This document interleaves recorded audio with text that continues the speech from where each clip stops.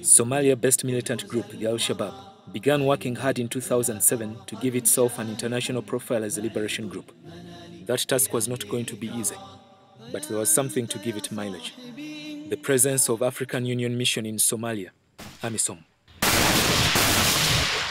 This meant the group could, in their view, justifiably take their war across the Somalia borders to the countries that had deployed forces in Somalia. The original aim of the previously small scruffy group was to destabilize and topple the transitional federal government of Somalia. Uganda was singled out among the two troop deploying countries then, the other being Burundi. The group had warned these countries many times that they would pay the price for frustrating the Al Shabaab mission. Before the Kampala bombings, Al Shabaab was desperately seeking recognition from the top leadership of the global terror network, the Al Qaeda. To prove that they could make good on their threats, the Al Shabaab planned to hit Kampala with basically two motives. One, to make it untenable for Uganda to continue with the Somalia mission, and secondly, according to terrorism analysts, to prove to international terror groups that Al Shabaab was formidable in East Africa and could deliver the terror network's objectives in the region. The Sunday night of 11th July 2010 probably provided the worst surprise ever for Uganda's security agencies and civilians. As soccer lovers enjoyed the World Cup final game between Spain and Netherlands, terrorists felt they would make a big point and cause maximum damage by hitting such a gathering. At the Kyadondo rugby ground in Lugogo, Kampala, shortly after the second half of the game kicked off at about 10:30 p.m., the first bomb went off.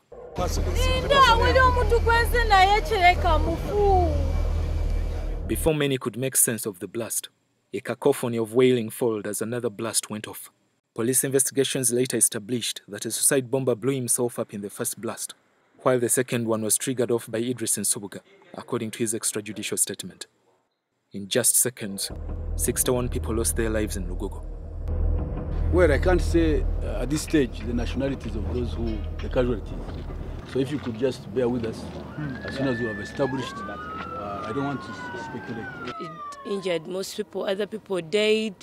Like my sister got an injury here, fragment burnt her. Then even my cousin got an injury here. Almost simultaneously, another bomb went off about a mile away at Ethiopian Village Restaurant, a hangout popular with expatriates in Kabalagala, on the outskirts of Kampala. 15 people died. I have to treat myself. I have to go hospital. Which hospital?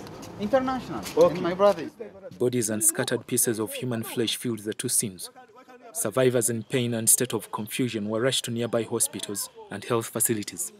Relatives of the victims rushed to hospitals as news spread on radio and television about the terror attack. All my friends are dead!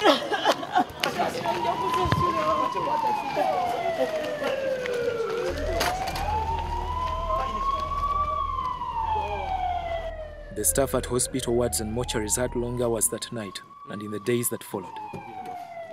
A total of 76 people were reported dead and 85 seriously injured, while several others were treated for minor injuries. President Museveni visited the scenes of terror on 12th July and re-echoed his stand on terrorism.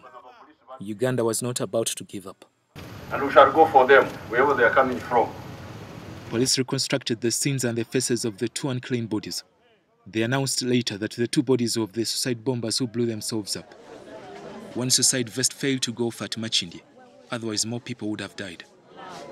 Investigations began immediately and more than 60 people were arrested.